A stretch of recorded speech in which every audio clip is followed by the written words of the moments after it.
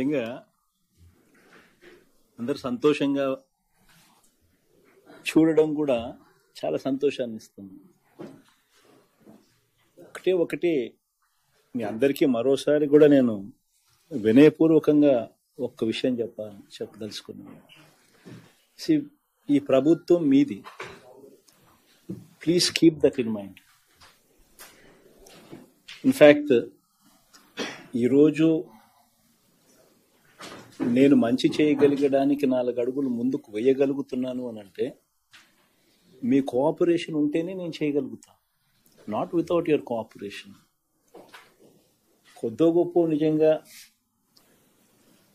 ఆర్థిక పరిస్థితుల వల్ల అయితేనేమి ఇప్పుడు ఉన్న సిచ్యువేషన్ వల్ల అయితేనేమి మళ్ళీ ఓమిక్రాన్ ప్రభావం వల్ల ఎటు పరిస్థితులు ఎలా ఉంటాయో కూడా తెలియని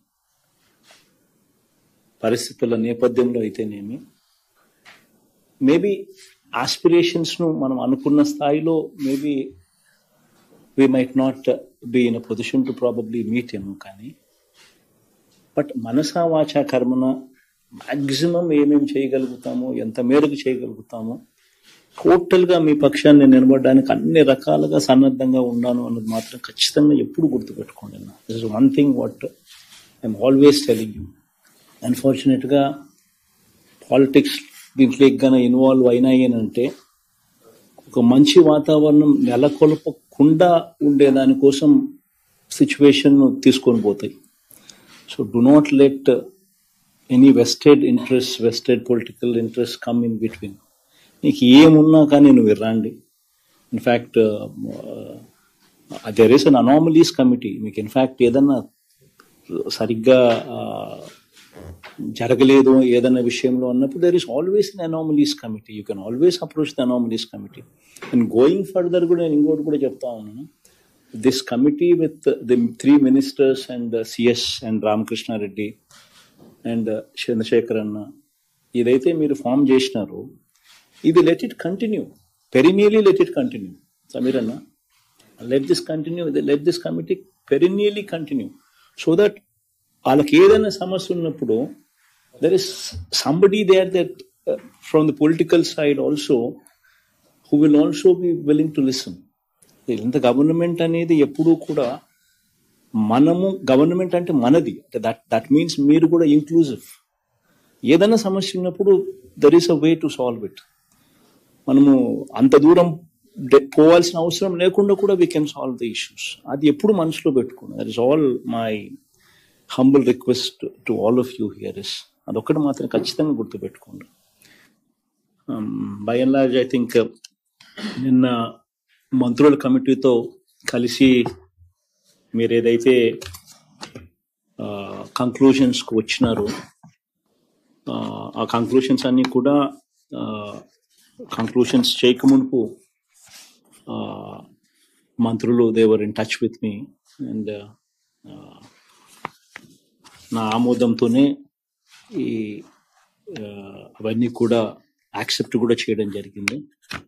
అండ్ ఆ నిర్ణయాల వల్ల నిజంగా మీకు ఇంకా సంతృప్తిని ఇవ్వగలిగాయని చెప్పి చాలా సంతోషపడతా ఉన్నాను. ఈ ఐఆర్ ఏదైతే ఇచ్చిన ముప్పై నెలల కాలానికి గాను తొమ్మిది నెలల ఐఆర్ను సర్దుబాటు నుంచి మినహాయింపు ఇవ్వడం వల్ల ఐదు వేల నాలుగు వందల కోట్ల రూపాయలు భారం అదనంగా పడతా ఉంది. హెచ్ఆర్ఏను కూడా ప్రాస్పెక్టివ్గా అంటే జనవరి నుంచి వర్తింప చేయడం వల్ల అదనంగా మరో మూడు వందల ఇరవై ఐదు కోట్ల రూపాయలు అదనంగా మరో మళ్ళీ భారం పడతా ఉంది. అంటే మొత్తం ఐదు వేల రెండు వందల ఇరవై ఐదు కోట్ల రూపాయలు అదనంగా భారం పడతా ఉంది. ఈ అదనంగా భారం పడేది కాకుండా ప్రతి సంవత్సరం ఇక రికరింగ్ ఎక్స్పెండిచర్ కింద హెచ్ఆర్ఏ వల్ల ఇప్పుడు మార్పు చేసిన హెచ్ఆర్ఏ వల్ల ఎనిమిది వందల కోట్లు. అడిషనల్ క్వాంటమ్ ఆఫ్ పెన్షన్ వల్ల మరో నాలుగు వందల యాభై కోట్లు. ఈ సిసిఏ వల్ల మరో ఎనభై కోట్లు. అంటే ఈ ఈ మొత్తం కలిపితే పదమూడు వందల ముప్పై కోట్ల రూపాయలు. ఇది అదనంగా రికరింగ్ ఎక్స్ అదనంగా రికరింగ్గా ఇంతకు ముందు మనం పిఆర్సి ప్రకారం పదివేల రెండు వందల నలభై ఏడు కోట్ల రూపాయలు ప్రతి సంవత్సరం ఏదైతే పెరుగుతా పెరుగు పెరుగుతుంది ఈ సంవత్సరం కన్నా నెక్స్ట్ ఇయర్ పెరుగుతుందని మనం అనుకున్నాము. దానికి ఈ పదమూడు వందల ముప్పై కోట్ల రూపాయలు రికరింగ్గా అంటే పదకొండు వేల ఐదు వందల డెబ్బై ఏడు కోట్ల రూపాయలు ఈ సంవత్సరం కంటే ఇంకా నెక్స్ట్ ఇయర్ రికరింగ్గా పెరిగే అమౌంట్ అవుతుంది. So I just thought I should just share with you so that మీకు తెలిసి ఉండాలి అని చెప్పి అంతకన్నా. అంతకన్నా ఇంకా వేరేది ఏం లేదు but no problem whatever it is ఈ రాష్ట్ర ఆర్థిక పరిస్థితుల దృష్ట్యా ఈ ఐదు వేల ఏడు వందల కోట్ల రూపాయలు కూడా ఏదైతే వన్ టైం మనం ఐదు వేల ఏడు వందల ఇరవై ఐదు కోట్ల రూపాయలు ఏదైతే వన్ టైం ఇస్తున్నామో ఇది మీ పోస్ట్ రిటైర్మెంట్ మీకు ఇచ్చేట్టుగా కూడా నిన్న కొంచెం మనం కూడా కొంచెం యాక్సెప్ట్ చేసినందుకు చాలా సంతోషం అని చెప్పి మాత్రం మనస్ఫూర్తిగా చెప్తా ఉన్నా.